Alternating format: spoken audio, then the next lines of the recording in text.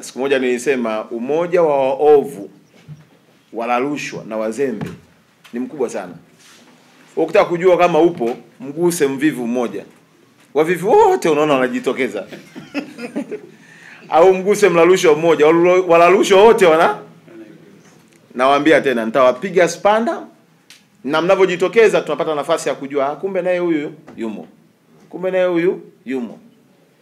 Alizalilishwa hapa rais wetu mwenyekiti wa chama, mwanadiplomasia namba moja, mama mwenye familia, katukano asubuhi mpaka asubuhi, sikusikia kauli ya mtu yoyote. Afu wanaume sisi ndio tujitokeza kumpigania yule mama.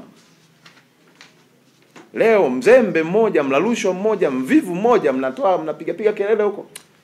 Ebo, twende kwenye kazi.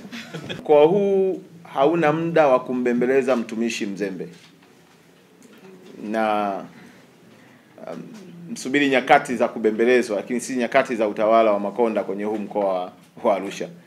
Eh, Kila mtu analipwa kutokana na kazi, Eh, haulipwi kutokana na jinsia wala ulipwi kutokana na umri, ni kazi uliopewa kufanya. Kwa kama kazi hiyo huifanyi kikamilifu, utakutana na moto wetu tu. Yaani hii swala halina msalia mtume, haina cha nani, haina cha nani kakuleta, haina cha nini tunachotaka sisi ni matokeo, yaani hakuna lugha nyingine zaidi ya matokeo. Kwa kama umepewa kazi yoyote kusimamia, aidha kwenye sekta yoyote, iwe ni kwenye ujenzi wa barabara, kwenye miradi ya elimu, iwe kwenye afya, kwenye nini, kinachokupa heshima ni matokeo ya kazi. Huwezi kuwa unakula hela za watu alafu unakuwa mjanja mjanja ujifiche kwenye kwenye kwenye kwenye kofia ya ya ya ya ya ya ya, ya, ya, kutiatia huruma mahala. Eh, Kama unaona kazi ni ngumu, basi tafuta sehemu nyingine na nishamwambia Lasi, mtumishi akiona hawezi aandike tu barua kwamba mimi naomba kuhama, tutamsaidia hame.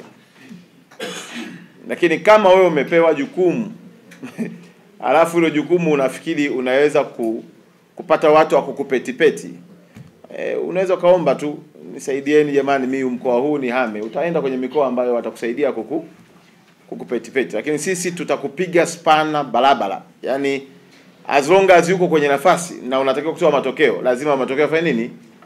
Yapatikane. Ingelikuwa ni kule kule nyumbani kwetu, wasema utapigwa grili kweli kweli, yaani mpaka mambo yafanye nini? Yanyoke. Kwa hiyo, Mheshimiwa mkuu wa wilaya, simamia bila kutetereka, na bahati nzuri bosi wako kwenye mkoa ni mimi na mimi na bosi wangu kwenye wizara ni Mchengerwa TAMISEMI. Kwa kila mtu ataripoti kwa nani? Eh, kwa bosi wake kwa sababu tukichekacheka hivi tutafikia hatua kuna miradi itakuwa haiendi, alafu kuna watu watahisi kama wanaweza kufanya yale ambayo wanayafikiri yanaweza kufanyika. Hala hasha.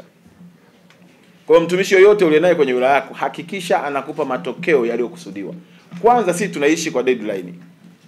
E, kwa sababu serikali iliyoingia madarakani imeingia madarakani kupitia uchaguzi. Kuna elfu mbili na ishirini mpaka elfu mbili na ishirini na tano na ndani yake kuna ilani na ile ilani imeenda kwenye kila kitengo, kila idara. Kama tuliahidi tutapunguza tatizo la maji au tutafikisha asilimia tisini na sita ya kuwapatia maji wananchi 2025 lazima tujitathmini sisi kama Monduli. Je, tumefikia asilimia ngapi kuelekea yale malengo makuu ya utekelezaji wa ilani ya chama chetu?